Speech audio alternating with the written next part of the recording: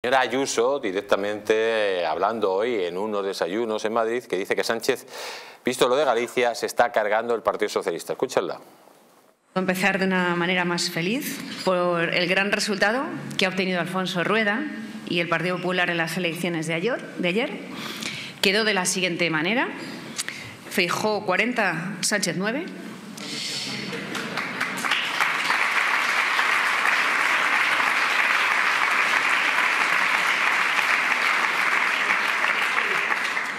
Alfonso Rueda es presidente porque lo han elegido los gallegos, mientras que Sánchez es presidente que la gente no eligió.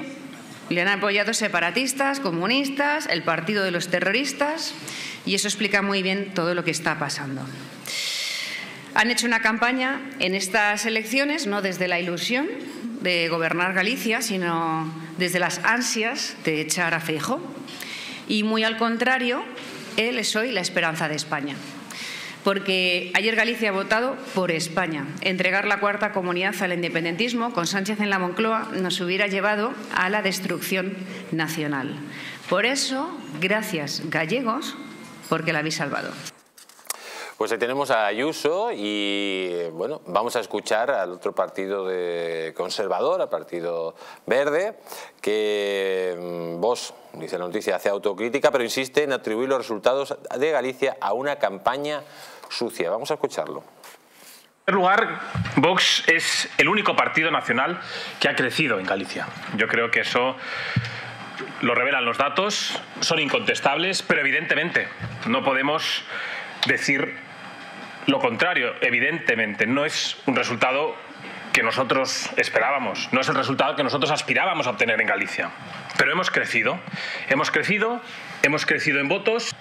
A partir de ahí me van a permitir que también haga una reflexión sobre esta campaña electoral. Una campaña electoral donde claramente ha estado marcada por el juego sucio. Una campaña electoral donde empezaron diciendo que no nos presentáramos. Continuaron promoviendo todo tipo de cordones para evitar que nuestra voz llegara a los gallegos, silenciando a nuestros portavoces, silenciando nuestras propuestas, luego apartándonos de debates, de posibles entrevistas para poder explicar qué es lo que queríamos hacer desde la Junta eh, una vez obtenida la representación y luego, a pocos días de finalizar la campaña electoral, se decía que votar a Vox era votar al BNG. Luego, evidentemente, han habido pues, muchos factores que ha complicado muchísimo que las propuestas de Vox, que los planteamientos que defendían nuestros portavoces, nuestros candidatos, llegaran de primera mano a los gallegos. Pues ahí tenemos, amigos, las palabras del triunfo de señora Ayuso y la justificación, en este caso, de, haber obtenido cero, cero escaños del partido de Santiago Vázquez. Bueno, la culpa es de los demás, ¿no? por parte de Vox. Pero a mí sí que me gustaría decir que Vox, eh, el único problema que tiene es el mismo. Es decir, el propio partido Vox es el único problema que tiene, son ellos mismos, porque son ellos los que discuten entre sí, los que preparan las, las tanganas que preparan entre sí y no llevan a buen puerto. Segundo, Vox no tenía candidato en Galicia, no le tenía por sus guerras internas, por mil cuestiones.